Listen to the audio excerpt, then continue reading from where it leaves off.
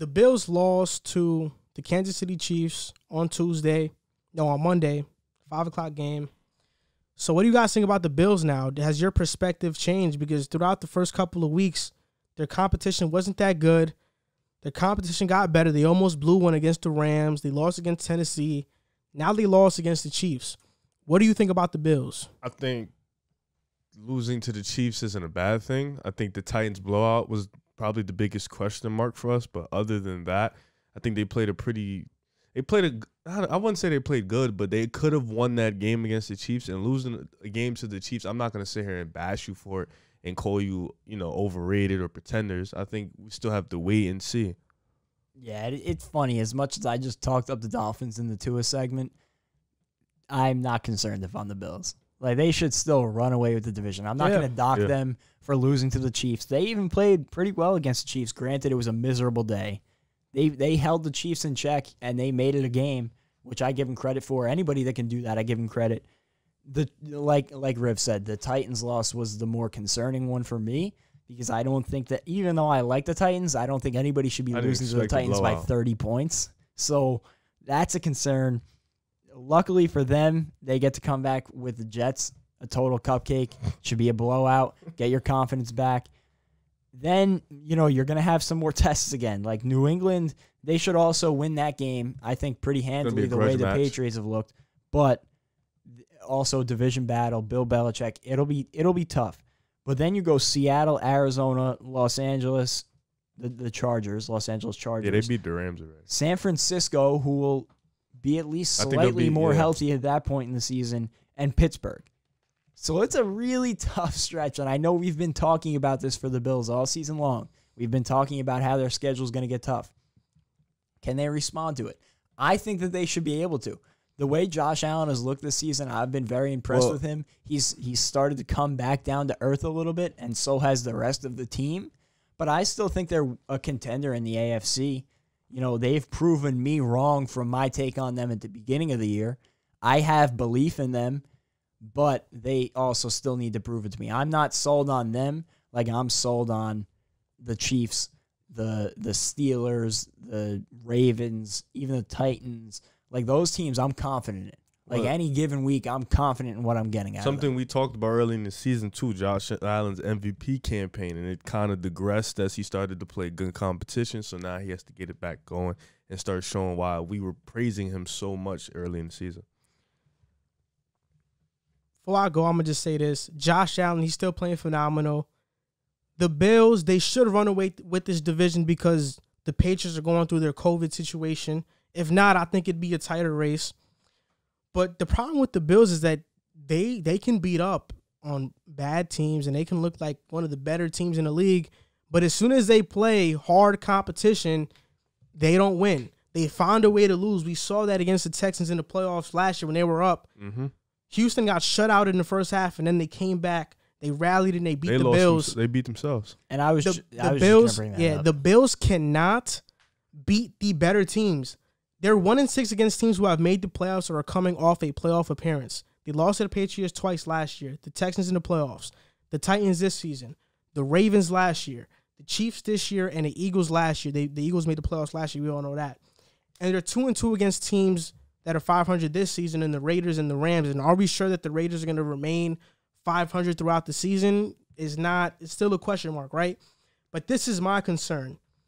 First of all, Josh Allen, 20 his 2020 campaign, his quarterback rating when leading is a 130 quarterback rating, right? He's playing like a superstar, like the MVP. When he's trailing, it's a 91.6. Mm. So he dips down. He's still a great to good, good to great quarterback, but it dips down. That's about a 40 point drop off. When it's tied, it goes to 75 Jeez. he's a mediocre quarterback. And last year in 2019, it was the same. He had a 107, 107 quarterback rating when leading, then a 71 when trailing, then an 82 when tied. So it seems when the team is trailing, when the team is tied, Josh Allen isn't that good. The only bright side about that is in the fourth quarter, Josh Allen is pretty clutch. Like his numbers from 2019 and 2020 combined, he has 13 touchdowns and one interception in the fourth quarter. So he doesn't he protects the ball in the fourth. But something obviously happens when they're trailing or they're tied that Josh Allen simply just cannot get the win. I don't know if it's Brian Daboll's play calling. I don't know if the, the offense around him collapsed, but something obviously goes wrong. But I think we can all agree that the question mark with the Bills right now is their defense. Absolutely. Second ranked defense last year. This year, the 21st. And I remember in the Bills video when we were talking about the division winner, everybody wanted to tell me that the Bills have a better secondary than the Patriots. The Patriots right now are ninth in passing yards allowed per game. The Bills are 24th. You can't rely on Josh Norman. You can't, even though he's on IR, Levi Wallace. You can't rely on Levi Wallace. You Tre- can't rely on Taron Johnson. Tre White's had some injury concerns too throughout the season, Yeah, which has hurt them. Yeah, their only good corner is Tre White. Everybody He's else gets picked on. Josh Norman is not Carolina Josh Norman. I don't care that he's in Sean McDermott's Not defense. Washington, Josh Norman. People, uh, Washington Josh Norman was bad, but, but like this guy is horrible. Sh- Sean McDermott, he was a defensive coordinator the year that the Panthers made the Super Bowl, and because of that, Bills fans thought they were getting the Carolina Josh Norman. You were wrong. You're not getting that Josh Norman. Josh Norman is not the same. He's a mediocre to bad corner. He gets picked on, and that's the problems right there. Yeah, listen, they're gonna get back on track against the Jets this upcoming weekend, and then they gotta prove they gotta prove who they are because I still have belief in them as what they were the first few games of the season. But in order for me to feel that way going into the playoffs, we can't excuse them losing games like they lost to the Chiefs or Titans. They are going to need to get at least one win against uh, Seattle or a Pittsburgh, even a San Francisco, an Arizona, the Chargers. Like, give me a win against a team of substance. Show me that you can compete against those teams because you look at, like you said, last year when they went into that game against the Texans, they were the better overall football team, I thought, but it hurt them massively that they played the easiest schedule and one of the easiest schedules in football. The same mm-hmm. schedule that we know it because we watched the Jets play against the same schedule. It was a terrible schedule. And they went into a team against the Texans who played better competition throughout the season, and the Texans just looked more ready to play f- playoff football. And that's a thing for the Bills.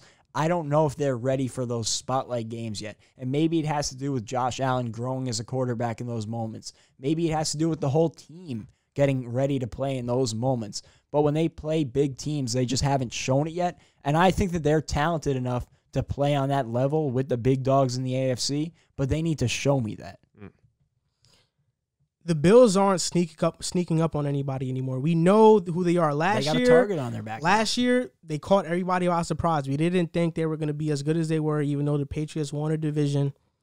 This year, we know we have expectations of the Bills, and those expectations are kind of hurting them because they're they're not legit contenders. They can't beat the Steelers. They can't beat the Titans. They can't beat the Chiefs. They can't beat the Ravens. What team can they beat? If we're being realistic, if if they were to make the playoffs, Yeah. what team can they beat? A- And that's the thing. Like, again, they have the talent to do it. I don't question that they are talented enough I don't think they're just to ready compete with Men- those mentally. teams. But they have to do it. Like they could be as talented on paper as they want. They could beat up on the Jets and look like the best team in the NFL against the Jets. And even the Dolphins, who I just gave so much credit to, at the end of the day, they're not on the level.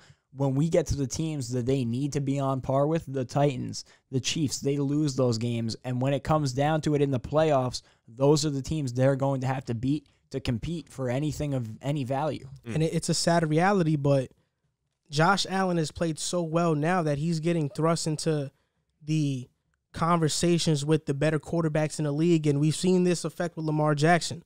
Lamar Jackson has one of the better seasons in NFL history, but he's 0 2 in the playoffs, And and that's what people questions him that's that. what people point at. So when you can't beat these teams over 500 or teams that have made the playoffs, that's what you're judged on. I don't care that you're playing at an MVP level. That's what you're judged on until you start winning in the playoffs, and that's how it's Yeah. always been, and that's how it's going to be.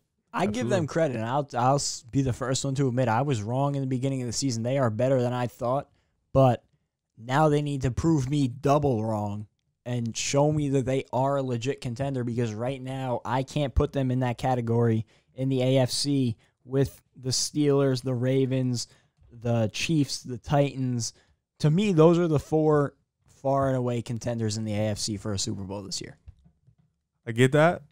Granted, though, the Steelers also have yet to play anybody, so we don't know. We know they're good and they're disciplined. Mike Tomlin, Ben, Big Ben, all that. But we also have yet to see them play any competition yet, and their their test is coming up very soon too.